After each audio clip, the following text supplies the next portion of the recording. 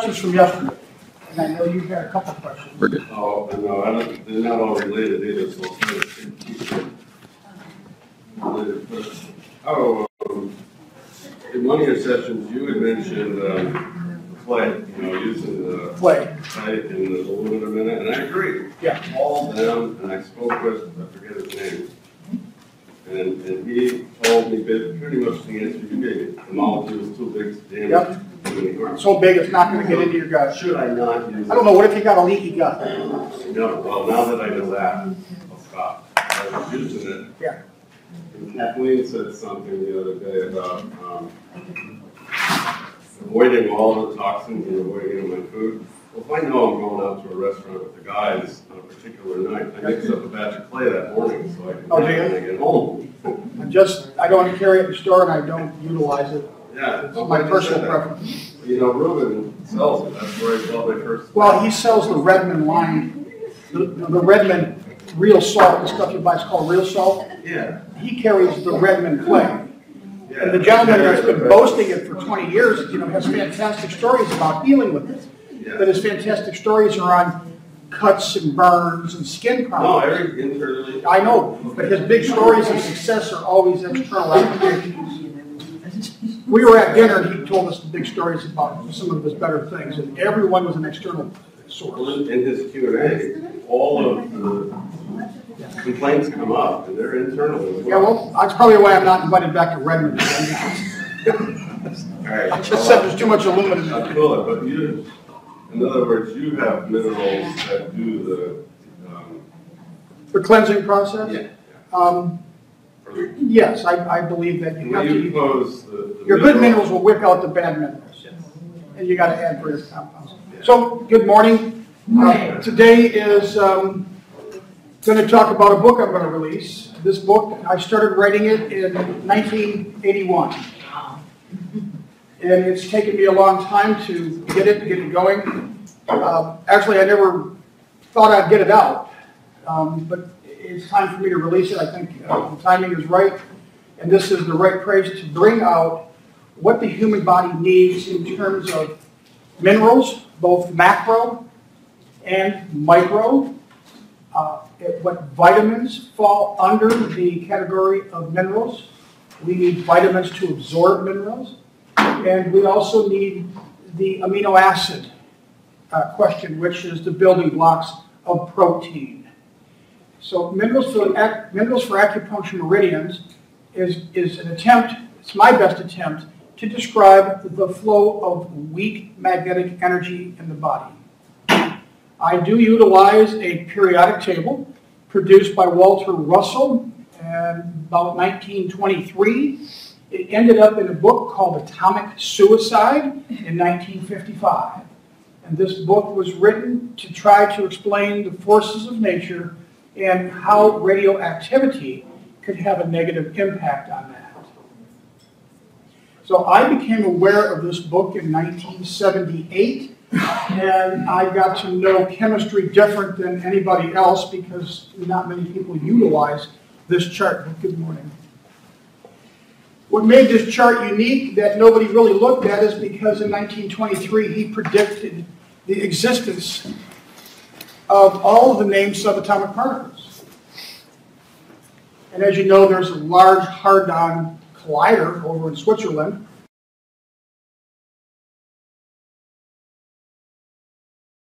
Subatomic particle names off a periodic chart by Walter Russell, and it took me a few years. Uh, 1984, they came out with a book called Quarks, Q-U-A-R-K-S, Quarks. And it fell right into the same pattern and understanding as Walter Russell had predicted. So it was just a matter of converting names from the Walter Russell chart to the standard model. So when you see these names that I'm going to be putting up, I'll have the Walter Russell name and I'll have the, the current model name for the subatomic particles. It doesn't matter if it's a carbon molecule or a uranium molecule. They are, they, and every mineral on the periodic chart are comprised of quarks. And quarks in varying ratios make every mineral on the periodic table. So essentially, we're all the same building blocks, just our DNA code has allowed us to flow energy slightly different according to the God-given code that you were given. Not everybody's given a good code. You can go to 23andMe and have it analyzed.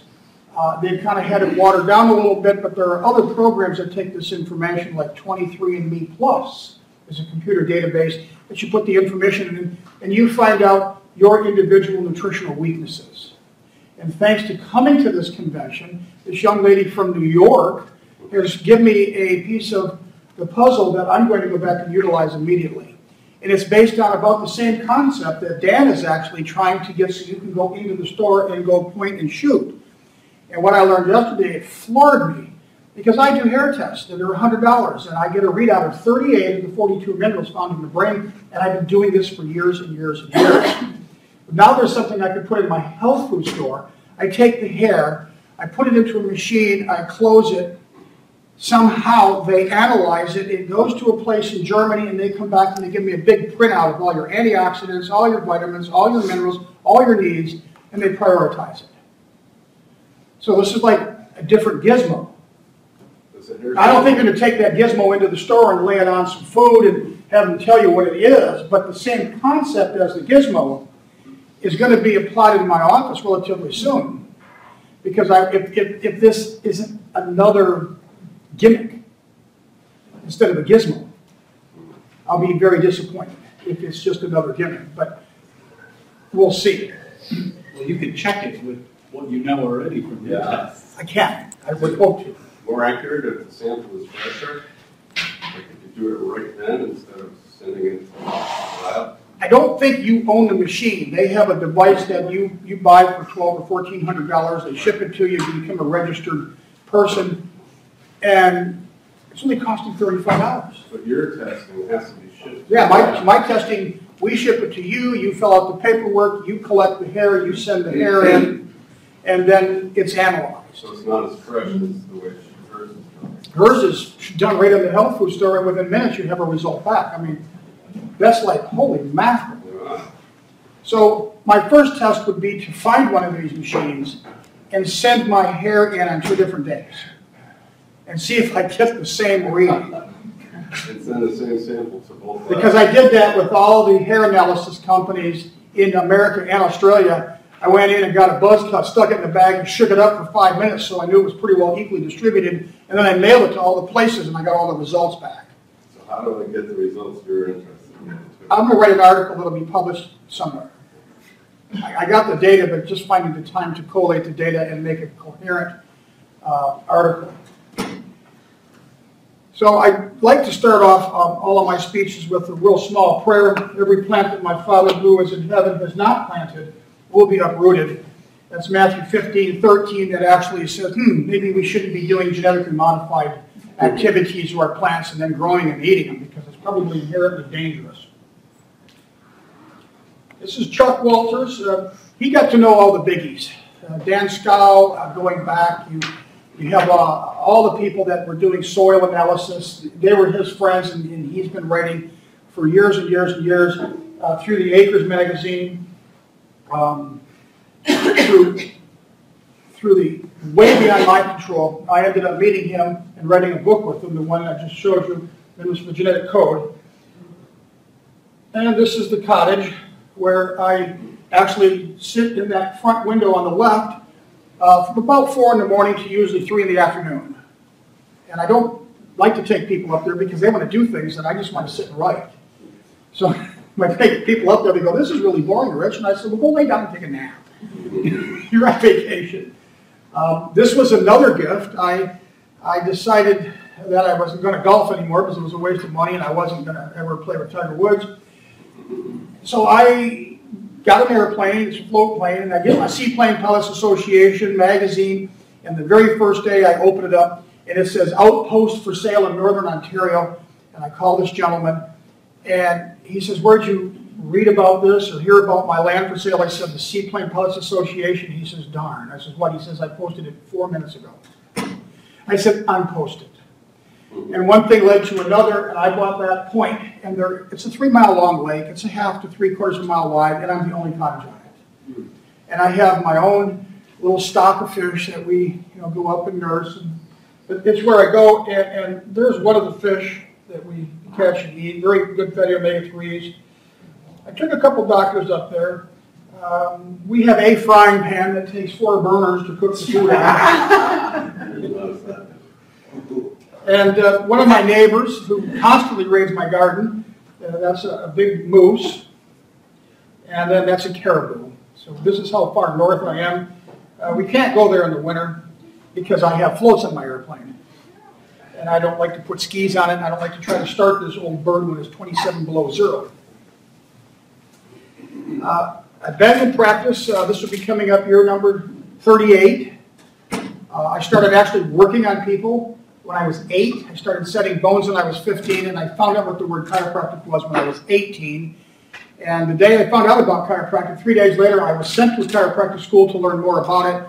And I took my aspirations of being a pro hockey player, and I converted it to hockey refereeing. And then I went to the chiropractic school. that had the most ice rinks around so I could pay my way through doctor school, and it worked out quite well.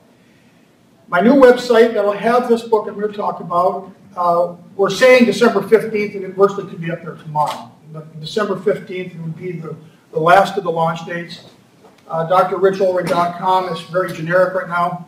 Uh, we're going to continually to keep adding information. I'm going to uh, start a, a mineral blog because I read every day. I've been up since 3. I read from 3 to 6. And if I read it, it's about a mineral. I copy and save it. We're going to start linking all the stuff that I read so people can go and just read about minerals in the news. Hillman Hill Food Store is the largest health food store in northeastern Michigan, and it's a pleasure to have that offered to people. The first book, uh, the first speech, was Minerals for the Genetic Code. I followed it up with Minerals for Tumor Suppressing Genes, which I did not, did not print. It was too big of a book. It was way too complicated. And it's actually become outdated with newer research. I wrote a book to help anybody that wants to understand basic nutrition as to what you would get at a good health food store, what it is, how much you would take, when to take it. Uh, and I'm going to release minerals for acupuncture meridians right now. I did the genetics of the day yesterday in the next two books, and I think I might be done. The next one's on milk, and the next one will be on boron. So I got my chiropractic business, the health food store. In the health food store, I got a coffee shop. I got a company that tests the genetics of cows. I've worked with uh, Paul Dettloff and, and, and various, uh, all the farms from Organic Valley. We've genetically tested thousands and thousands of cows to clean the morphine up from Organic Milk Company. I believe they have the most morphine-free milk in the United States. And morphine is in all dairy products, and it causes massive problems to some, and other people aren't nearly as affected. I'm opening up an organic beauty salon at the first of the year, and in the back of the beauty salon, I'll also have beds for sale, and I can ship anywhere in the country. So this is kind of what the cover of Minerals for Acupuncture Meridian looks like. Everybody's seen the classical yin-yang symbol. Mm-hmm. For every mineral that I think and feel that the genetic code has, including the subatomic particle, has its own yin-yang symbol. There's no symbol that's duplicated up there. And you'll notice at the very top one, you see the bottom right of those circles, it's all white. And then the next one down is violet red. And then red, orange, yellow, green, blue, violet, blue, and black.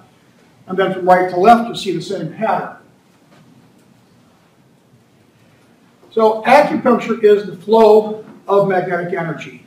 These are the ley lines of the human body, just like there's ley lines on Earth and there's points that have higher geomagnetic frequency or higher earthquakes or, or, just however you want to look at it, but the ley lines of the Earth, also we have ley lines.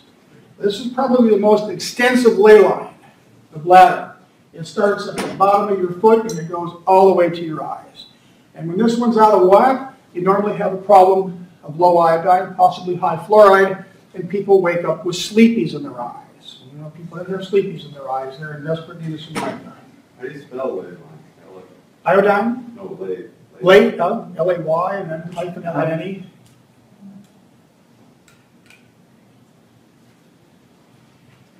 There are 12 ley lines that been generally recognized, depending on your author, between 5 and 8,000 years. They think that acupuncture may have started its origins about 8,000 years ago, but has become more modernized about 5,000 years ago. To get energy in your body, you have a small intestine which deals with nitrogen. You have a large intestine that deals with phosphorus. And the sum total of energy is known as the Krebs cycle. Three burners is the cycle of the Krebs, and three burners is governed by what the iodine will do to your mitochondria. The spleen may sit under your left, but it has points all the way down from your armpit all the way down into your foot. The liver uh, has its most notable points on the big toe as well. And people that have congested livers and kidneys that don't excrete, they get gout. Right at point number two, because that's where the energy field of the liver goes. The small intestine is designed to house 10,000 unique individual species of bacteria that convert your food into something that your blood cells, white blood cells, red blood cells, can grab out of the intestinal tract and move to the parts of the body that need it. Is called GAULT, G-A-U-L-T, and it's gunk lymphatic. I, I don't know the exact, but the synonym is GAULT, G-A-U-L-T. Your body makes 3 million new white blood cells a day to just scour this lymphatics to grab stuff and take it to the body. And then there's a portal vein that takes this information and then moves it to the liver where it's processed and then released. The stomach physically sits there, but it goes down to your toes, and you'll see that it goes up to the head. Why is it in the head? So the act of chewing will stimulate hydrochloric acid secretions to start to make your stomach work better. So this is when people hear bad news, they clench their teeth. They may grind their teeth.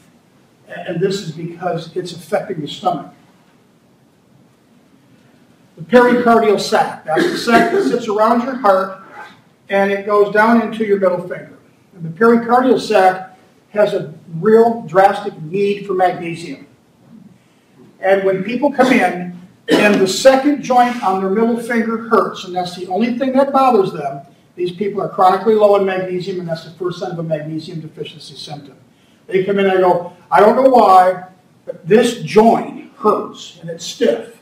And you can loosen it up, but it stays stiff. You put them on magnesium and it goes away because the energy field from the sac around your heart. People that are low on magnesium, they get heart palpitations and it makes them very nervous. And they run to emergency rooms and they go, there's nothing wrong with your heart. But the sac around the heart is not beating and synchronized with the heart. It beats much faster than the heart, and you just get this terrible feeling, and you get nervous and anxious, and you think you're going to die, and it's because you're basically low on magnesium. And then magnesium also has a profound effect on the uterus and the, in the uterus cycle. Uh, women that are profoundly or chronically low on magnesium have very heavy cloudy menses. And there's also an underlying thyroid problem that goes with it, but they also have uh, very, very profound problems with magnesium and, and, monthly cycles and water retention and depression. The lung goes down to your thumb. Um, the large intestine starts down at the right lower quadrant, travels up to your liver, makes an exit stage to this way, to the left, over to the spleen, down and in. And every segment of that intestinal tract has to be moving right or when things back up, this intestinal tract stretches and stretches and stretches and gets really thin, and then that's what can allow for what's called leaky gut, because you're stretching it out too much. What was the element that was associated with the large intestine? Phosphorus.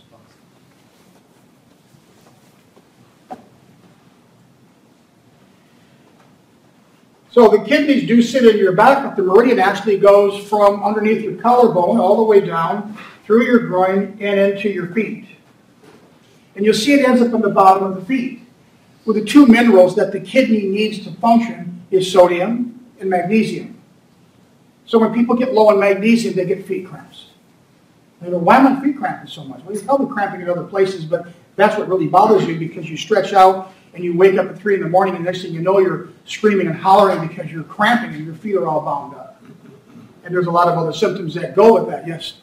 Did you say how long it takes to correct like, imbalances in specifically magnesium? Okay, yes, the, the question was, if somebody's really bad in magnesium, how long does it take to correct?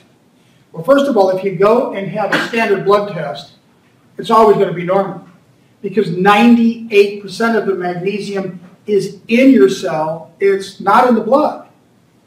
So you have to get what's known as an RBC magnesium test, and that's where they crush the blood cells and they see where the magnesium level lies. But symptomatically, it's from top to bottom.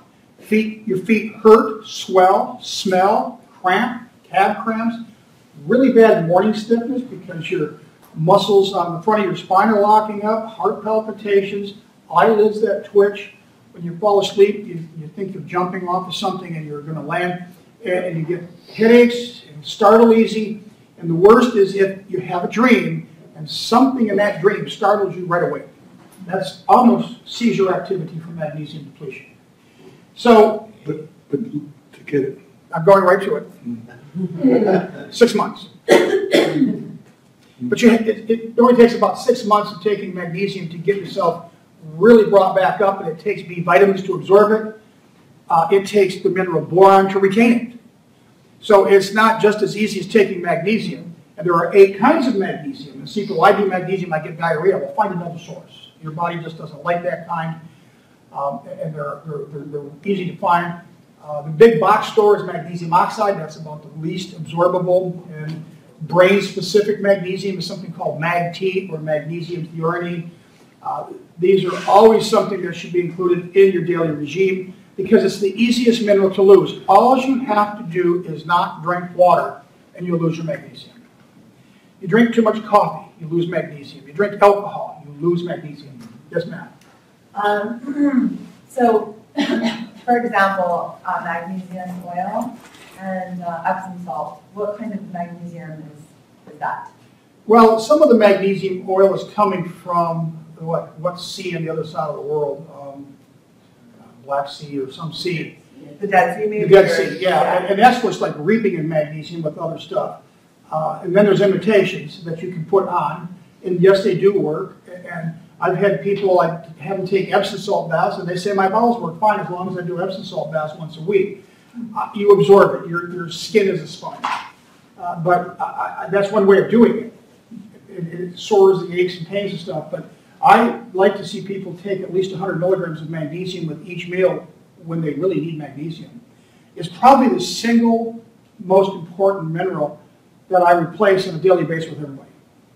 Because the, a lot of people come in drinking these high fructose corn syrup dark colas that are full of phosphoric acid, and, and one 12 ounce can of this stuff takes 400 milligrams out of your body. Uh, I see the older people, their blood pressure goes up a little bit, and the first thing that happens is they go on a diuretic. The diuretic runs all the magnesium out of your body. Then they double the diuretic, and they, they just go way downhill fast, and when they come in, they're just dying. And I put them on magnesium, and it's like, hallelujah, I'm going to live again. Because depression, this is the cheapest medicine there is for depression is magnesium. I mean, that is the best way to get out of depression is to start with magnesium. So as a farmer, you've got to have your calcium magnesium just right. Why? Because when the sun hits the earth and creates chlorophyll, that magic little thing, the center of chlorophyll is magnesium. And if you take the magnesium out and you put iron in, you got hemoglobin. I mean, it's the same structure, just a different mineral. So it's really critical to have going into magnesium. And in your spinal cord, there's magnesium. In your kidneys, there's magnesium. And magnesium is what allows the heart to relax between beats. Did you have a question? Yes. Can you repeat the part where you're saying you wake up, something about being startled in a dream or something? Yeah. If, if you are dreaming, you know, people, well, I fell off a bridge. People think I did this or I did that. And they wake up and, oh, it was just a dream. And then go back to sleep. Those type of dreams are magnesium in deficiency induced activities. You interpret it as a dream. But in reality, your brain is shorted out. The gallbladder is an organ that a lot of people have jerked out. Yes, sir. Is there any correlation between dehydration and heart palpitations and magnesium? Well, yeah, as soon as you get dehydrated, you lose your magnesium, then you get that. I mean, I've had that, I just if I'm dehydrated, Yeah. water. you're probably chronically low on magnesium. I mean, if you just go and type in tachycardia or atrial fib, I mean, atrial fib is a big thing that older people get. And they thin the blood out with warfarin and all kinds of stuff. Do a Google search on magnesium and AFib and you get 8.2 million hits. A lot of people have good experiences by taking in a lot of magnesium. And the people that are having a lot of AFib problems, when you do a hair test, it's like they're starving. There's no minerals in their hair. It's just all, every mineral right across the board is drastically low. And of course, the first thing they're going to do is make you stay alive. So they're going to thin your blood so the heart doesn't have to work so hard. And they might do shock therapy. I mean, that's the medical approach. Because they don't, most medical doctors don't do minerals and vitamins in their practice because they're just not trained. It- It's changing. You see a lot of people that have headaches. This type of pattern of headaches goes with people that have gallbladder problems. What does the gallbladder do? It makes water and oil mix for the bacteria so you can absorb oils. Breast milk has 900 oils in it. Distinct, different oils. Every membrane and every cell is a oil-based product, phospholipids, lipids, fats. And the amount of fat we need is completely underestimated. Uh, They know what a good gut is, they know what a good immune system is, and then there's everything that can go wrong. The one thing that's absolutely mandatory for good gut health is fatty omega-3s. So if you are a consumer of chicken or beef, you of course want it to be nothing but grass-fed because it's full of fatty omega-3s. You throw in the grains to fatten them up, that's fatty omega-6s. And fatty omega-6s, yes, we need them, but we need them like as soon as they're made because as soon as they're made, they start going rancid, and rancid fatty omega-6s causes inflammation. You've got to have your oils. Got to have your oils. People have their gallbladder taken out, and I go, now what? I go, that's a permanent problem. We're not going to put it back in. They dissected it to tell you that there was nothing wrong. Or it had sludge, or it was full of stones. But either way, and, and and it's always the same thing. It was so infected I was going to die. I'm really glad you got it out of there. So these people mentally are glad it's gone. But now they're not digesting their food because they're not getting secretions in enough concentration. Because you got this liver that pushes all its products into a little bag, and that little bag pulls the water out and concentrates it. And it's designed to release its contents two to four hours after you eat food so you can absorb oils. Now it just trickles into the system. Some people are blessed, they can't tell the difference when their gallbladder's gone. All they know is they don't have that pain no more because when it goes bad and it gets plugged up, you say, fix me or shoot me. That's what happens. Yes, sir. So when I do Epsom salt baths, Yep. I always sleep better that night. Absolutely. I always thought that it was because it relaxes my muscles, but it's really the magnesium. It's the magnesium. Now, the chemicals in your brain that put you to sleep are, you have to have magnesium to make this cascade of events go down. So it's not that it relaxes my muscles. Well, it does relax your muscles. It relaxes muscles. Calcium is a contractor. And the opposite of calcium is magnesium, so magnesium is a relaxer. So you have this constant contraction, relaxation in your heart, in your body. If you become calcium dominant, you're going to always have things that are in a state of contraction. People come in and they go, well, you know, um, I don't know what's wrong with me. I got a low back pain, it's going down my right leg, and this is primarily women. And I'll do two or three treatments, and I'm shaking my head going, you know, I'm moving these bones, and I know how to do this really good, and you're not getting any better. By the way, did you start taking calcium pills? Of course I don't drink milk. That's the answer. It's not, yeah, I'm taking calcium pills. The answer is, of course, I don't drink milk. And they watch TV and they think that they need calcium.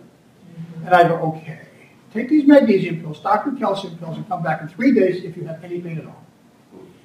I just get the calcium magnesium balance back out because your kidneys may sit back here and they might make your feet cramp, but on the front of the spine, there's a big group of muscles that keep us upright. They're called quadratus lumborum, and they attach to the area of the kidneys, and dehydration causes those big muscles to knot up, tilt your pelvis, and gives you 40% of sciaticus or false sciaticus because it's nothing more than the pelvis tilted from chronic muscle spasms. So if you sit in a chair here too long and you go to get up, it's like, oh, hang on a second. Ah. Oh, there. All of muscles all tight. You lay in bed. This is why people that have weak kidneys from low magnesium lay in bed all night long. They wake up, they want to keep sleeping. They can't sleep. They didn't get a good night's sleep, but they got to get out of bed because they feel better getting up and moving around. That's magnesium. Oh, yeah, when you go through the symptoms, Everybody start, yep, that's me, yep, one, yep, yep, yep. So when people clinically come in, it's like, okay, where are your magnesium though? Do you drink water? Oh, I never drink water. What do you drink? That's my next question, what do you drink? Dark colas? Hey, good morning, good morning. Dark colas, uh, light colas, can you see through the bottle? Is it got phosphoric acid in it? Is it bromated? Is it got sucralose in it? Has it got aspartame in it? I mean, you just, you have to seek out the poison. And if you don't find the poison, explain it to them, and give them the option to quit it, then you have a patient that helps put your children through school. Because they keep coming in. You're not fixing the problem. Yes, ma'am, sir. Uh, I've heard about the flushing, Flushes? Oh, yeah.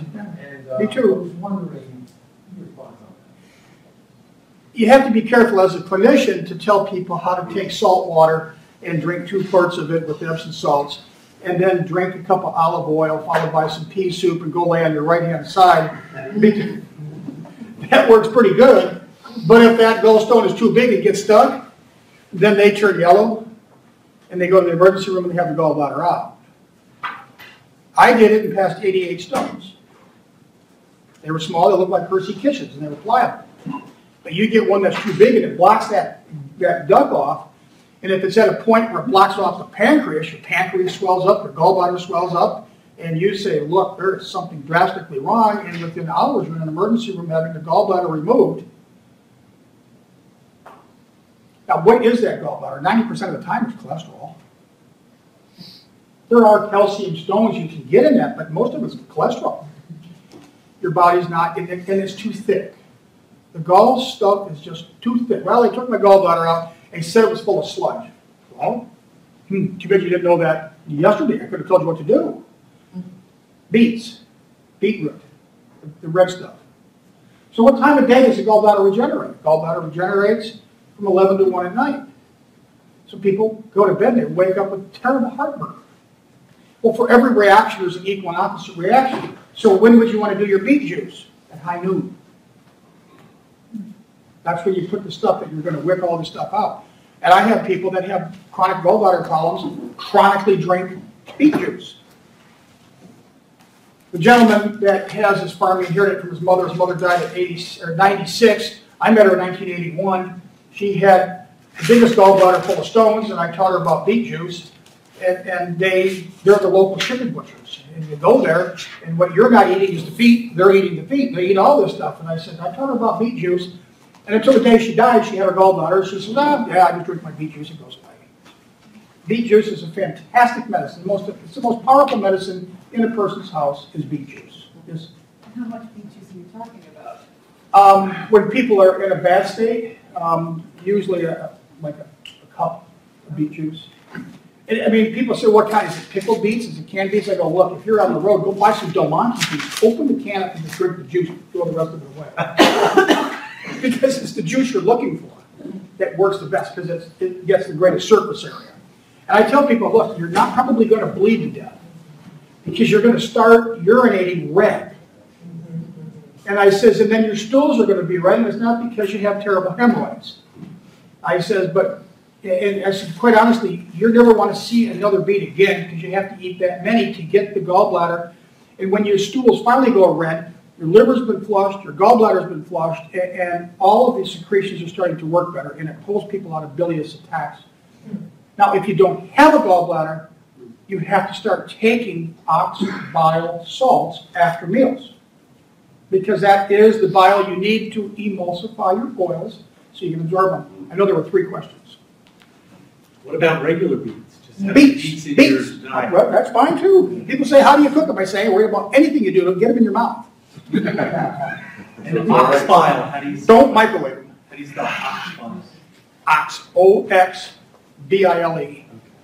Standard process makes something called Cholacol. It works fantastic. What is it called? Cholacol, C-H-O-L-A-C-O-L. There's a Cholacol 1 and a Cholacol 2. Cholacol 1 is for acute, Cholacol 2 is for chronic. So it's okay to eat the whole beet, or do we need? to- Well, the beet tops are absolutely full of stuff, just fantastic stuff. When women are having a problem with breastfeeding, um, and they're not making enough milk or it's not nutritious enough, you, you immediately put them on vitamin D, emulsified, you put them on selenium, and to give the baby iron, you have mother drink, drink beet juice. And how long does it take to get that into the mouth? 20 minutes, 30 minutes. I thought beet greens had oxalic acid in it, which blocks the absorption of iron. Is that, Beets. I didn't say beet greens for, for uh, beets. I you put said beet- beet tops. You can eat beet tops, they're really good, but I don't have women eat beet tops, I have them eat beets to get the iron. And there's a lot of lithium in that too. Yes, Uh, raw beets versus cooked beets any kind for of beets, cleansing? any kind of beets. Okay, so cooked beets are good also, not just raw. Taking this any way you can get it down is better than not taking it. Now, in an ideal world, yeah, I cannot ju, I can't juice a beet because there's something in the skin that makes my throat go raw. So I have to peel it. I'm losing half my nutritional value, but I can't, I can't walk around and not talk for four hours because there's something in that. I like to talk a lot, I do. Sometimes I stick my foot in my mouth just to shut it up. Or I do this. There was a question. So I guess this would apply to all of eat. If- you need particular minerals, Right. magnesium, et cetera, so that you can custom craft how you do your gardening. Yep. Right. so- I should probably speed this up, and I'll go to the minerals as it relates to this. So we got the heart, that needs boron. The body has circadian rhythms, and the master gene is called the clock gene, imagine that. Um, so acupuncture laid out these circadian cycles in two-hour blocks. This is what's been in recorded acupuncture books forever. I took a look at this, and I broke it down to every hour. So at two in the morning, the liver is in full regeneration. At four in the morning, the lung is in full regeneration. But at some point, you've got to go from the liver to the lungs, and that's at three o'clock, and I can name the mineral that allows for that transfer.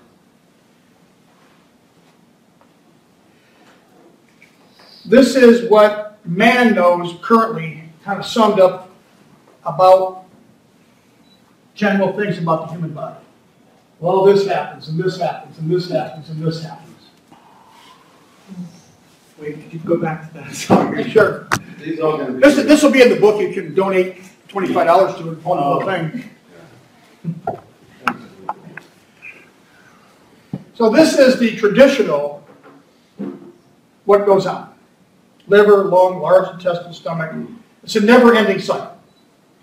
And you can use for what's, for every reaction, there's an equal opposite reaction. You can say, well, the gallbladder from eleven to one, from eleven to one in the afternoon, is the heart. Or What's opposite the large intestine? It's the kidney. Or what's opposite the small intestine is the liver. This is out of the book Minerals for the Genetic Code. I tried to make it look like a periodic table.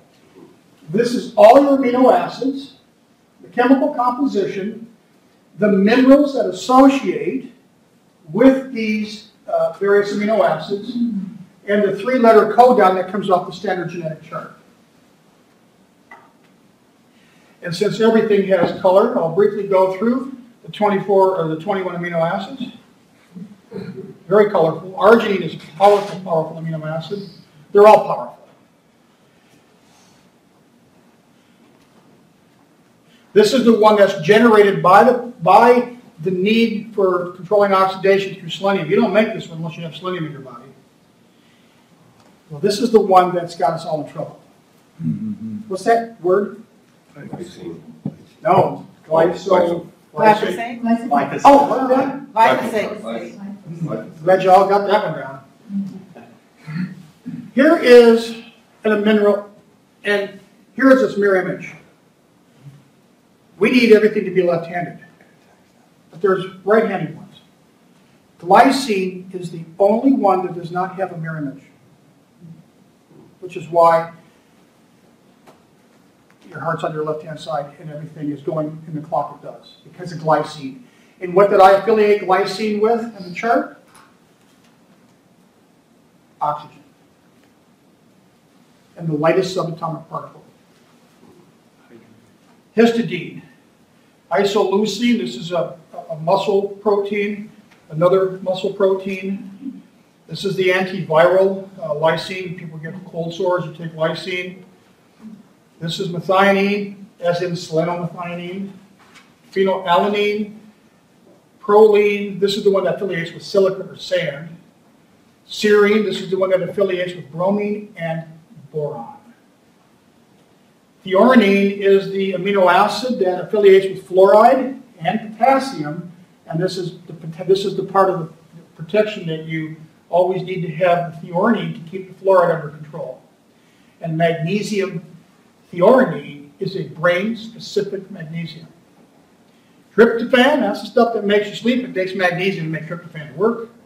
Tyrosine is all thyroid and stomach. Valine is muscle. And instead of making 200 slides, I said, we'll just go right to the book. The second paragraph is what basically I don't like. It's in 1996, when autism was 1 in 10,000 and celiac disease is 1 in 10,000, we now have autism 1 in 58, boys 1 in 86 girls, and celiac disease is 1 in 110. What happened in 1996 that made these numbers plummet? Well, that's when glyphosate was introduced into the food chain.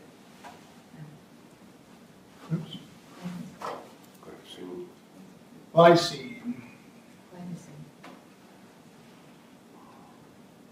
So the history, you can go online and see the history. That's pretty much stuff. That with the chart that I showed you on the front of the book, this is all the yin yang. took me hours to make that chart. hours. Awesome. This particular chart is to give you an idea of what color associates with minerals that have electron valences. So both right and left is zeros, and there's no electrical charge. It's either going to be black or white, but you're, you're minus ones, there's only four of them, iodine, bromine, chloride, and fluoride. That's all. But yet iodine is the heaviest, most dense metal you've got to have sitting in every cell, including your thyroid, to run the whole hormone show. Plus twos, oxygen, sulfur, selenium, and tellurium. The fifth one's a nasty one. It's called plutonium. Has anybody heard of plutonium-210? The Russians use it to take out people in faraway countries. They just slip a little bit of polonium into them and they're dead in three weeks. Or all you gotta do is light up a cigarette. Because what is in a cigarette that triggers the massive amount of lung cancers is plutonium-210, which lodges into the bifurcations of your lungs and it sits there with an alpha emitter of a half-life of 45 days, breaking down all your chromosomes. The minus threes, nitrogen, phosphorus, that bad antimony and arsenic. And you have to do great measures to keep the antimony and arsenic out of your system. Plus four, minus four, carbon, backbone of the DNA code, silica, sand, makes everything strong and flexible. Those are the two primary ones. The plus three is the ratio of aluminum to boron. Plus two is the calcium magnesium, and plus one is your sodium potassium.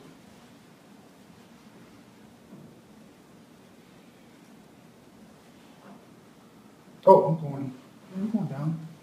Hmm, hit the wrong button again. This is the periodic chart that I utilize. I'm having a hard time getting up. Everything just above boron are all the name of the subatomic particles that your body will hyperaccumulate through DNA and minerals that we call acupuncture meridians. And there are many devices out there that you can measure these pressure points because all along these ley lines, there's changes in the skin that they can measure. They get tacky, they get touchy. Uh, people that don't know anything about you can walk up and grab your wrist and do a reading on your pressure points. You can't even get out of good acupuncture school unless you just, they stick an arm out there and you got to tell them what's wrong. There's nothing else to it. I go to chiropractors and they go, what's wrong? And I go, I got to tell you, you don't know enough to treat me. It's that simple. And I don't like to be treated unless I think the person has actually got a working brain. Minerals all have electrical charges. They take all these minerals in 100% purity, they put them into an MRI machine, they make the magnet at 100 megahertz, which is equated to everything to hydrogen. And when these minerals start dancing around the thing, they know to a millionth of a megahertz what's going on. And all minerals have a shape. So when your DNA calls for proteins to be made, it knows exactly what minerals need to be present in what amounts to give our proteins three-dimensional shape. Throw in the bad minerals, you start making proteins that are the wrong size and the wrong shape. And it goofs up the flow of magnetic energy.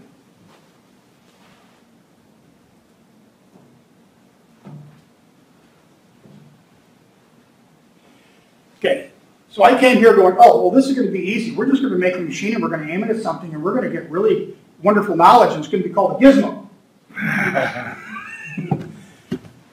I had to get, I had to sit back, shut up, be quiet, not say a word and realize that I was looking at this in my brain for too long to understand the technicalities of what they're up against.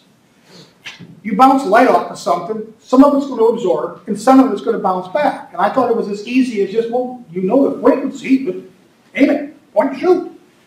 Well, let's see. Calcium is not standing all by itself in a watermelon rind. It happens to be tied up with a lot of other things that also has colors too. And we can't discriminate between the calcium and all the stuff that's wrapped around it. So now we have to look at more broader things to try to measure. And that's their dilemma right now, is to figure out how can you make something and collect all this metadata and then come back a year later and say, well, you know, here's where the trends are, and the more metadata we get, the better we can tell you what our machine is doing. And I can't wait to see the product five years from now. I can't wait to see it tomorrow. But this is what this principle is based on, is bouncing something off and getting the reflection. Here's the ley lines, how many actually acupuncture points, acupressure points, whatever you want to call it, are associated with each ley line. So as I go through this, the key is uh, the upper left would be what number of the mineral we're talking about, the corresponding yin yang symbol, the name of the mineral or subatomic particle, uh, what what I reflex it is, which is more of a psychological profile that that mineral has. And every mineral has a great psychological profile. I, like oxygen. It's, it's, it's, its profile is great. And you go to aluminum, it's adversity. Um, I mean, every one of these has these profiles. And we're not just one mineral. We're a combination of, of all this stuff. And, and when you have people that are horribly out of magnesium balance, they're going to be in a constant state of contradiction. And if there was a movie ever made about magnesium, it's called Jekyll and Hyde. and the people that live with chronically depressed magnesium people know that because they can be normal, they can blow up and go nutso and be normal before you got over the fact that what they just did. And to them, and to them it's normal. Well, I'm over it, aren't you? No, I don't think I want to see that again. Go take some magnesium and go to bed, please. So the very lightest subatomic particle is a quark. And uh, we have the quark. Let's see if I can make this, view this, page width. Okay. So the, the lightest known subatomic particle is a single quark. It affiliates with glycine. And that is a problem because the number one vertebrae is what the skull sits on in the great brain, puts a fluid out every eight hours, completely regenerates the cerebral spinal fluid, and it goes out every nerve. And every organ, and every tissue in the body is touching the brain. Well, the brain can't read itself. So it has a loop that goes back to the brain. And that loop would have a profound effect by or from glycine, or whatever glycine is attached to. And my knowledge of glycine and this nasty chemical associated with glycine is that wherever glycine goes, the rest of that molecule shows up. What's a phosphorus molecule? And maybe we don't need energy from glycine associated with phosphorus there. And that's the problem, is this stuff sticks so tight together. DNA calls for glycine, and all of a sudden, a glyphosate molecule sits there instead of just instead of just a phosphorus molecule. And there's the small large intestine. The second, um, the second lightest quark, is affiliated with the ability to move energy from the intestines to the stomach. Um, and the IC would see be a natural response. Now, on the right-hand side, the bottom two is there's two types of opposite reactions. One is a time of day that's an opposite reaction, and the other reaction is there's actually nine levels of minerals, but we only use eight. But you've got to account for all nine because they are a reality. So I have this, for every reaction, there's an equal opposite reaction of what we need in the body, and then I have the equal opposite reaction taking into account the ninth level of minerals. So I had to put both of those numbers up there to show you that, well, what you're doing at 3 o'clock, what you're doing at 7 a.m. could have a profound effect at 7 p.m. when magnesium is regenerated. And that's, that, but that's what that extra part is for. So, at some point, you go from the large intestine to the stomach. In an acupuncture, they know exactly what point that is. It's called an LAO or LAU, LAU point. And then somewhere along the course of that, that spot's right there. And that's the spot where the energy starts to shift from one energy field to the other. Meaning one organ to another. Yeah, you go from one organ to another. So tyrosine, the amino acid, falls on the stomach meridian. Um, and you'll see that that's negative one. Well, what's the, the, the most important negative one is iodine. So the most important iodine molecule deals with tyrosine. So tyrosine is all fiber. There may be other spots that tyrosine is used, but it's primarily used in your thyroid. So I'm going to skip down to the mineral minerals because we could go through all the subatomic minerals. And I'll show you what I've done different down the, real, the mineral minerals that we have.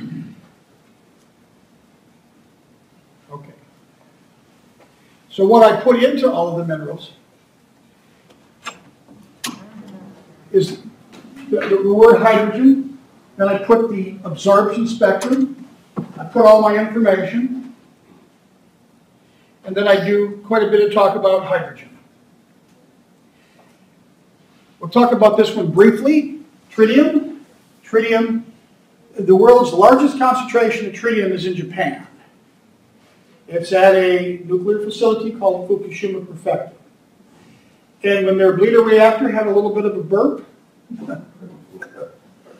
they had to start building containers. And they built big containers, and they built lots of them, and they built them as fast as they could. Now they're rotting. They don't even have any more room to build them. But They're going, well, really this is just a low-level radiation. We're just dumping the ocean. They've been saying that for a year. They haven't done it yet. Well, maybe they are. We don't know. But their intentions are to not build any more and just take what they got and dump it. Mm-hmm. So it's going to have a big, it's going to have a big effect on what? Serine. See where it says serine there? Well, serine also is associated with boron and bromine. And in the flow of energy, it's going to goof up wherever serine is. In our life, no. In the ocean, yes.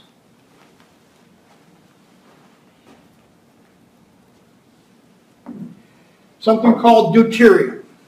This is actually a mineral all by itself. It has its own properties. I could give you a glass of deuterium and you would drink it and think it's water. There's two drops of deuterium per quart in the ocean. It's there. In Europe, they actually sell deuterium-free water. You want to get control of your deuterium, find chaga, C-H-A-G-A. It's one of the most prized medicinal components in Chinese medicine. They don't have any, they, they, they'll tell you right up front, you look at it, we don't know what it is, we don't know, it's really good for you. But I can tell you what it's doing. It keeps the ratio between deuterium and selenium at the right levels. And if you have too much deuterium in there, you're going to have a release and you're going to say, there's something that needs to get out of me, it's going to get out of me right now because I'm going to pee my pants, it burns. The only animal they know that can actually detect it are rats. You give deuterium water to rats, they won't drink it. So what were deuterium and what other? Two drops per quart of ocean water. No, deuterium balances. Selenium. Selenium. So look at the time of day. See where it says large intestine to stomach, 7 a.m.? That's the same time that selenium regenerates. They're on the same frequency, just different octaves. I have a question. Yes? um, the chaga, just, I've seen where they're like, just make a tea, some people say it's ground, what do you say? Chaga comes off of a birch tree. And no, it's, it's rock hard. Yeah, that's So why I got a coffee say grinder. it- It's supposed to be, yeah, ground up. Yeah. Does it matter if it's ground or just? I grind it up. I go out to my drill press and I got a big brand new drill that's never had oil and I just turn it on and I shake it. As a rock? It's a piece of Yeah, it gets hard after a while. It's a good piece of wood. But you can use chaga 20, 30, 40 times. I know. I don't have enough time, but I had a personal experience where I probably lost five or six pounds of deuterium. I did deuterium, and we were coming back from my cottage. My buddy was driving, I was writing this book, and I mean, every hour on the hour, we clocked it. I got out, and my void was excessive, and I'm like, am I becoming type 1 diabetic? But I didn't feel bad. Alls I know is by the end of the trip, when I had to go, he had to pull over right now, and I might have three drops come out, but it got rid of that burning sensation. And I didn't know what it was, and I told my wife, I said, no, I'm gonna dream about this tonight. I woke him up in the morning, and he said, well, did you dream about it or get on the internet? And I said, both. He says, I got rid of deuterium. But yeah, everybody in Japan, this is their number one on their worst list, to get the deuterium out of it. And this was from drinking Not chocolate. deuterium, the tritium. How did you get it? What's that? How did you get deuterium? How did I, how do we get it? It's in water. Every water. I know it's two drops per ocean. I don't know what the rest of the water is. You can't find a lot of information on deuterium. There's a guy, there's a group over in Europe, there's lots of papers on it. And they're, they're doing cancer treatments of deuterium-free water. You want to make it? It's easy. Take a glass jar, put it in the sun for a day, put it in the freezer. When it starts to freeze, knock the hole in the top, dump it out. And do the same thing again because it has different properties than oxygen. D2 is different than H2O. It freezes first. So when you go to freeze stuff twice and dump the water out, what's left over is water without deuterium. You can just go on the internet, how to make deuterium-free water. It's as simple as that. Helium is responsible for sunlight. It's the thermal nuclear reaction from helium to hydrogen that makes that big ball in the sky. Yes. Sorry, just to back up, so when you have excess deuterium and you take a lot of chocolate, that's when you feel the burning. Yeah, when you're getting rid of it, it irritates and burns. Okay, it's, getting that selenium balance. Getting the balance between deuterium and selenium. So yeah, let's let, let's selenium. It's kind of like fluoride and iodine. You, you keep you got to have very little fluoride and a lot of iodine to keep the balance right. So if you get too much fluoride, you got to really saturate yourself with iodine and push it back out. So when you're, if you're taking, if you're drinking chaga and you get this burning, you know. you yeah, you're dumping you're dumping deuterium. You know you have excess deuterium. Yep. What are the side effects of having excess deuterium? Good question. Uh, possible, well, if your DNA code is calling for oxygen to be present and the deuterium is too high, and the influence of deuterium changes the size and the shape of the molecule that you're making, you may not make what you want to have be the, a functioning protein. And then the body just goes, well, whatever you made, it's not right, puts it in the toilet, breaks it down, and makes another one. There's a lot of, there's a lot of diseases that are based on that. Sir, I'm too cold, but I'm getting the Want my jacket? I'm getting the book. Okay. I get my jacket. Okay. Can I ask you a a question about um, iodine? Yes. Um, What do you think of uh, E3 Live as a good source of? Of what? E- E3 Live, is no from what that Lake, Lake is a frozen algae. I don't know anything about it. Okay. Do you have, what do you recommend for like the best sources of iodine? I'm assuming kelp Well, or there's, there's hundreds of species of kelp. And they are accumulator of what's in the ocean, and a lot of them accumulate a lot of cadmium. There's a lot of toxicity. If you said, I'm gonna take kelp from the Chesapeake Bay, that'd be the stupidest thing you could do, because there's so many minerals in there, the kelp's gonna have it. The kelp that I would like to see people take either comes from Maine, which is the American Kelp Company, or Thorvin kelp. That's harvested on the north side of Iceland. That's what's in my product, the Grand Thorvin Unified Mineral kelp? Yeah. Okay. Thorvin kelp, and it's certified organic. Ah. Yes, There's also the seaweed ban in Maine, you know, way the heck up there in Maine. up in La, yeah, towards Labrador. So, yes. Yeah, that's the Labrador Kelp Company. But their beds He's- went, he's his their beds company. went screwy. He has his own company. Oh, does he? The seaweed Well, ban is his yeah. own, yeah, his own. What's the name of it? Mace and The seaweed. Yes. Mace. Okay. Lush. Seed man or something. Seed. Right above Acadia. You know, here, here's where these, these carp farmers, help, help harvesters are having a problem. I live on a lake, and there's something called riparian rights. Meaning that, well, I sit there on the lake and I put my dock out there, and you can drive your boat on the water, but I own the land underneath it, right out to the middle of the lake. And it goes to court, yeah, you sure do. Now there's people living on the ocean going, wait, that's my kelp trees, you're harvesting it, I want my cut. And they're in court battling over it.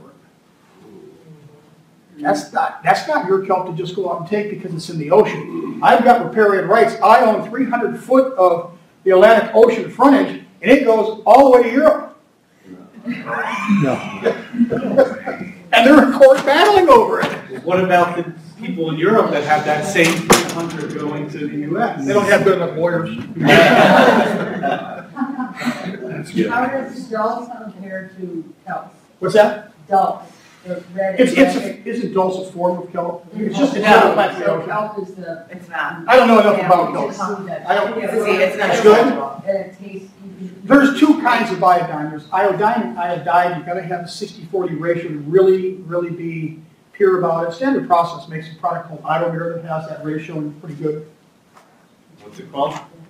Idomir, I-D-O-M-E-R-E. So lithium is deficient in, oh, one in four, one in five hair test. Parkinson's researchers that do hair analysis is one in two. Without lithium, people get very depressed. Um, and the eye of shame, I love it. When you don't have enough, you get into a state of danger. And the histidine molecule associates with it. And I'm going to is there- jump down, to, I'm sorry. Is there a food source that's good with, with lithium? Yeah, beets. No? Beets. Part of the piece. Ah, the red stuff. How to cook them. I, I particularly like to talk about nitrogen because if you want to understand about nitrogen, you have to take a look at what does it take to absorb a mineral. Know, maybe sodium and a couple minerals will get across the gut walls, but they're supposed to be carried across the gut walls. Oh, but I do Aneva. And what do you think of Aneva? Well, they got that stuff so small, it just crosses no matter what. I said, I don't know if I want to get something that small. Show me in nature where something is that small that we all want to use. We want our bacteria to incorporate it into proteins so we can absorb it. How do you really absorb minerals? It's with vitamins. What are vitamins made out of? Nitrogen. So nitrogen, the very first organ that is formed after conception is the heart. Well, when the heart starts beating, it needs energy. So the second organ formed in the human body is the small intestine to provide energy to the heart. So the energy moves from the heart to the small intestine with nitrogen. Come on, Richard. And you take a look at this page here, and you will see that I put all the B vitamins under the category of nitrogen. Because when you look at the chemical structure of all the B vitamins, all it is is different forms of nitrogen. So if you don't have the gut bacteria making all of those, then you're not going to absorb all the minerals.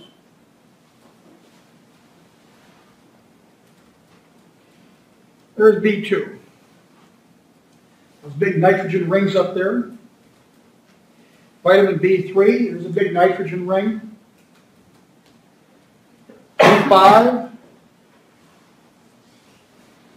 Let's go down to B12 because that's where there's a little bit of a, a change in it. Ah, that's not very big at all, is it?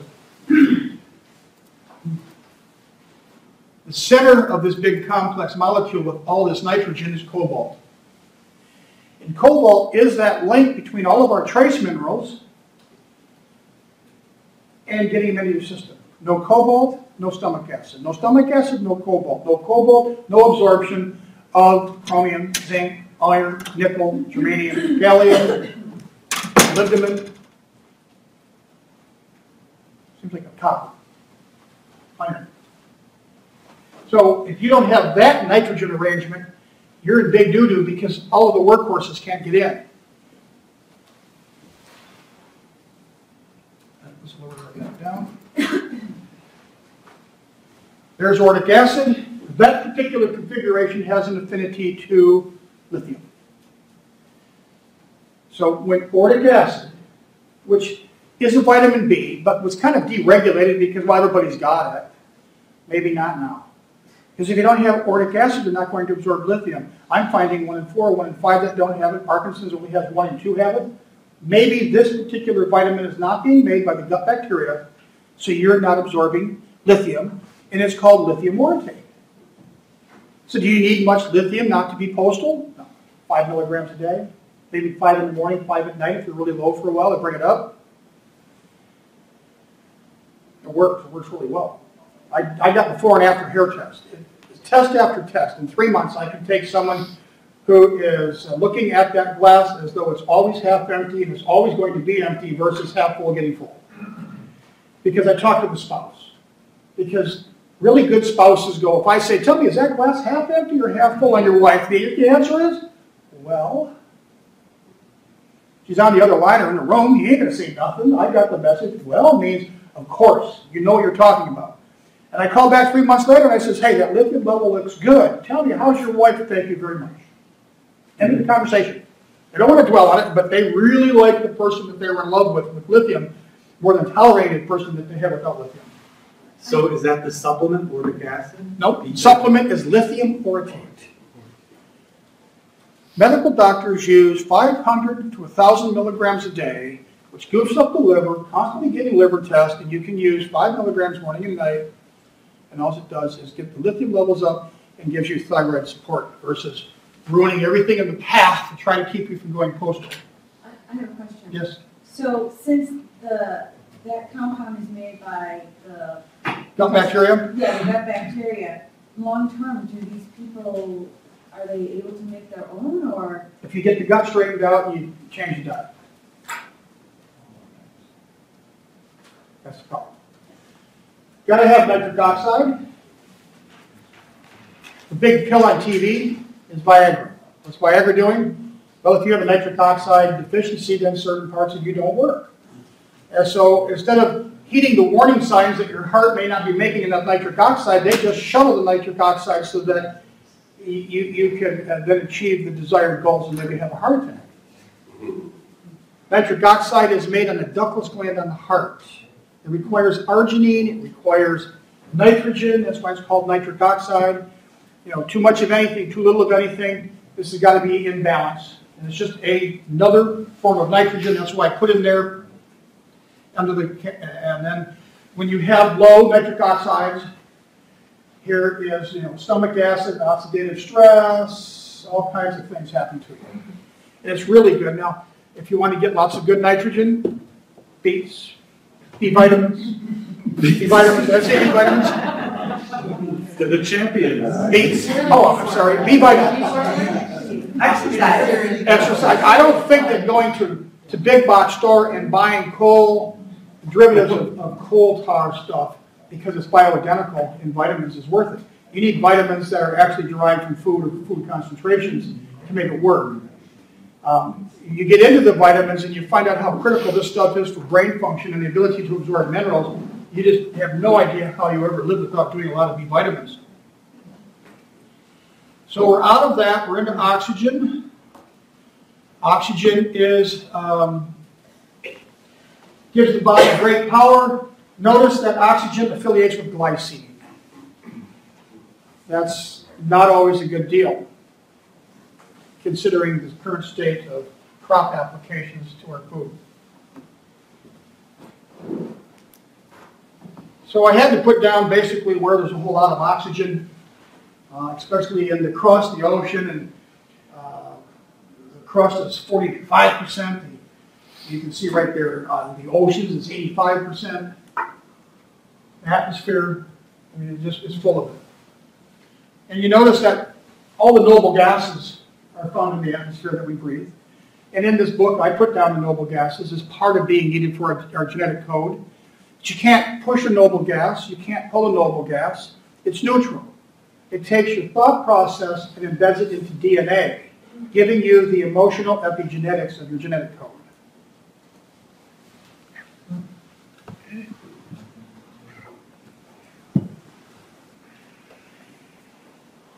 So we talk about water.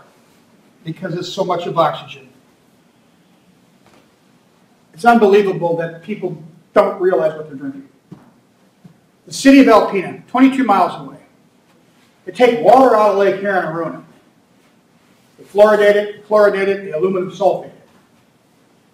I'm like, really? Why do you have to have aluminum in the drinking water? Doesn't Lake Huron have enough? No, it doesn't have any. So I won't go to the town and, and, and buy food. Well, if I do, I go to places that don't use water when they prepare it. That aluminum is found in your brain in three minutes. This lady took a bunch of lab rats she didn't like very well to Detroit and give them the drinking water, dipped them in liquid nitrogen, and in three minutes found aluminum in the brain of the rats. Well, that's not good because aluminum likes to attach to anything that's phosphorus and it binds it up and it makes phosphorus a very non-workable tool. And since every nerve in your brain is coated with phosphorus and every cell in your body is coated with phosphorus, you don't necessarily want aluminum in there gumming it up. Chris Exley from Keele University released a paper yesterday. I showed it yesterday morning because it came in my email box yesterday morning that says his research says autistic children sky-high aluminum levels. Not a good thing. That was, I've not ever seen autistic being directly linked to aluminum. He's directly linked aluminum to familial Alzheimer's. So the Alpena paper put a big headline, water and sewer rates to go up. They do print my letters to the editor. And it goes like this. Why raise the water and sewer rates? Just quit putting aluminum in the drinking water. Aluminum is related to Alzheimer's in the following journal. You only get 150 words. You got to get your point really quick, and I signed it. People started coming in going, did you know they put aluminum in the drinking water? I go, yeah, where'd you learn that? I read it in the Alpena paper. He says, who wrote it? I said, I don't know. I can't remember. now, one person that came in and talked about it knew I wrote it. So, That's creating a buzz. we- and there's another one because Air Force bases, sometimes there are airplanes that don't always have landing gears that function, and they put a lot of money into those airplanes, a lot of money into those pilots. So they put stuff on a 3,000 foot runway, so they'll skid for 3,000 feet. Something left of the airplane, the guy walks away. They've been doing this forever. You got the Wurtsmith Air Force Base, you got the Alpena Air Force Base, you got the Oscoda Air Force Base. When you're in my airplane, you can see all three. And everything in a five mile radius now has fluoride groundwater contamination.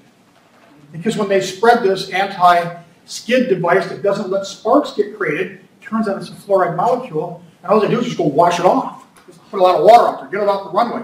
Well, now it's in everybody's wells. So the headline of the Alpena paper was yesterday, fluoride not found in the city tap water. I'm like, are you kidding? On your website, you put it in there. I kind of laugh at that one. Ascorbic acid is powdered oxygen. That's why I put vitamin C under oxygen. Water soluble, meaning you can pee it all out as fast as you take it. However, if you have boron is good, and your magnesium is good, and you're retaining selenium, your body will recycle vitamin C over and over and over. It'll oxidize it, it'll unoxidize it. But if you're low on selenium, in the toilet goes. And that goes back to having boron, which makes you retain magnesium. Magnesium is a plus 2 that regenerates at 7 at night. The opposite of plus 2 is minus 2. Selenium regenerates at 7 in the morning. So if you don't have boron, you may not have selenium, and then you can't recycle your vitamin C. So I had to put underneath oxygen vitamin C. The other one that's really good is hydrogen peroxide, H2O2. How many people have a hot tub? Many? What do you put in your hot tub, Joel? Nothing. Nothing? What do you put in your hot tub? Hydrogen peroxide. Hydrogen peroxide. Bingo. Mm. You know, people come in, I don't know, I'm just so sick, Rich. Well, you got a hot tub here. What do you put in? I don't know. My husband takes care of it. What is it? Chloride? No, my eyes don't burn. Oh, it's bromine. You like doing bromine dips? Really? How long do you stay in that bromine? And. Uh, oh, you mean your gallbladder doesn't work? You can't make hydrochloric acid? You get fat, lazy, and stupid? Bromine, yeah. If it's not chloride, it's bromide. It's like, really, you do dip your body in bromide for 30 minutes a day. Well, all that does is run the iodine out of your body and it loads up your brain with bromine. And when you do put some iodine in there, the bromine runs out of the brain, you get sick until it puts it back into the brain. You got to slowly run the bromide out of your body. You do that with chloride, that's in sodium chloride. So hydrogen peroxide is a really good tool. Uh, dairy farm I go to, it gets in about everything. They buy it by the 50 gallon drums and I buy it from them for a gallon at a time. Uh, there's a lot of people that take it. I personally don't. Uh, and a lot of people have been taking it for a lot of years because they think it helps out get a lot of lower life forms in them under control. Your brain makes so much hydrogen peroxide, it's not funny, but what do you do? As soon as you have water, H2O, turn into H2O2, well, it instantly sheds that oxygen. Now you've got a free radical oxygen that's going to what? Oxidize something. What is there to rescue that? 24 different selenium proteins in your brain. So when you're up on the stage thinking like crazy and you're making H2O2, now it's making oxygen, the selenium is there to monitor. Without selenium, you don't have control of the oxidation system. I don't care if it's a carotenoid, what vitamin it is, all oxidation comes back down to selenium's ability to control it. Low selenium, high oxidation rates.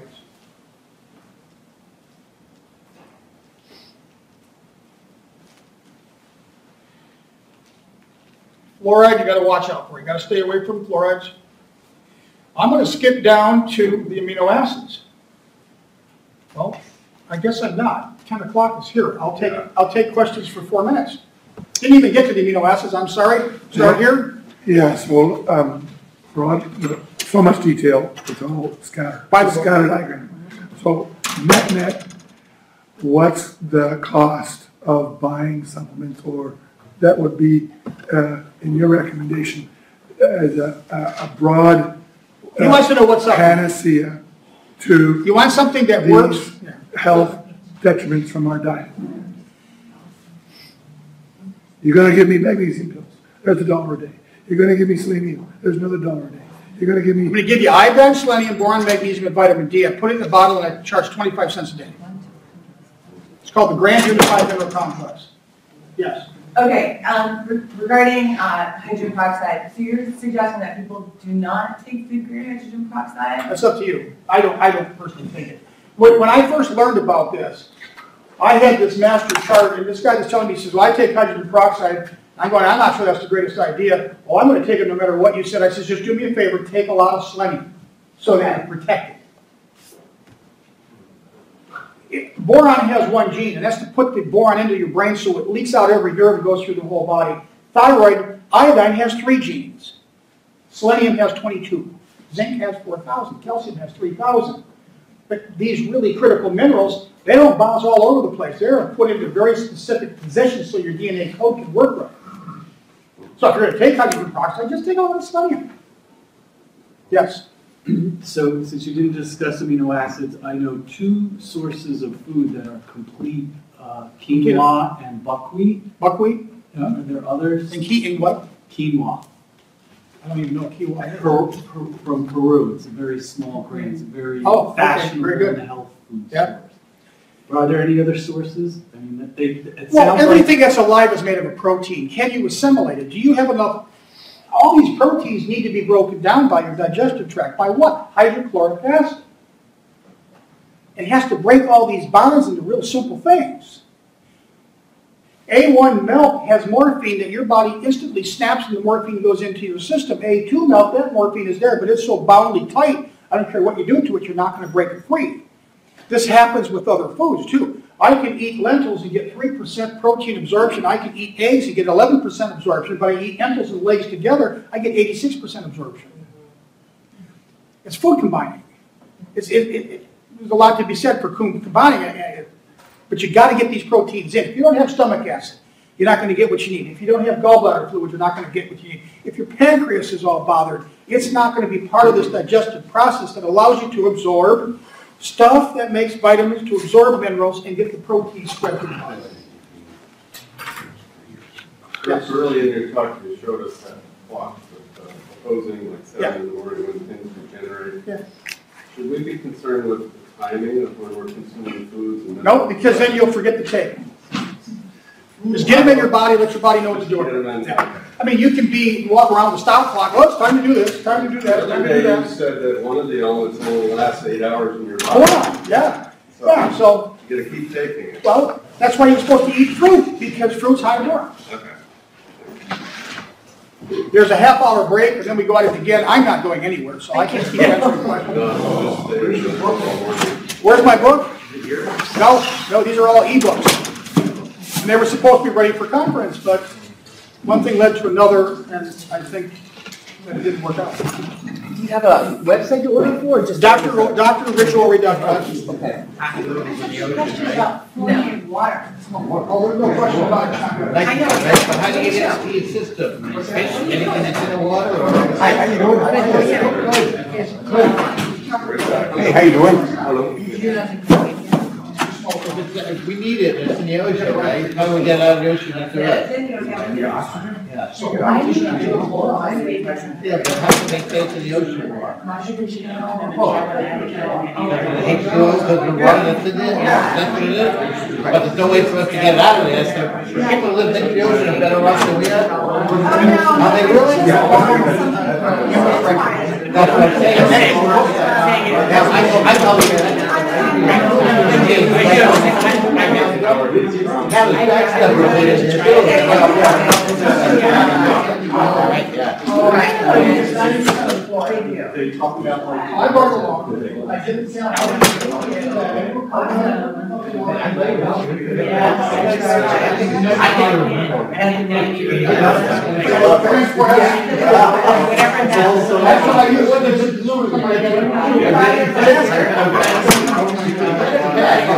glue. It could be on my. phone. Send the 15, you got this, and I was gonna sue the guy, I'm supposed to have ready today. So a little bit of. The, the, oh, the acupuncture book will be available.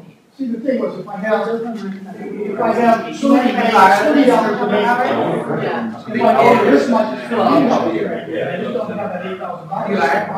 So first, first edition, I, thirty dollars, my God, that's. You can download it, if you want. If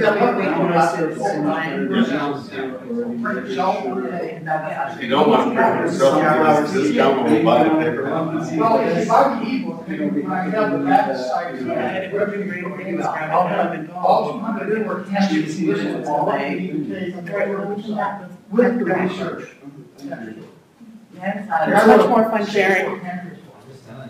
Eighty-seven pages, we don't care about anything but page one, because it says that quercetin is number one, uh, sodium is number two, it just lists everything, we're all research articles. There's Some money, you start off all the research. There's only thirty for cancer, so it's just a matter of time. to start all of this. But this is a brand new, we got it coming in. Yeah, doesn't- Just I don't know how long you're gonna want to use that filter, or squeeze this, because it's fine. If I dump it in there, it goes through that, and I get ninety percent of the fluoride out to make my coffee this morning. I'm very Ninety percent of the fluoride that I wouldn't have. I know. Fluoride. But this is, What's the? we're just gonna sell it like that. What's the protocol? Are you familiar with the? I think. Uh, I think it's called. I.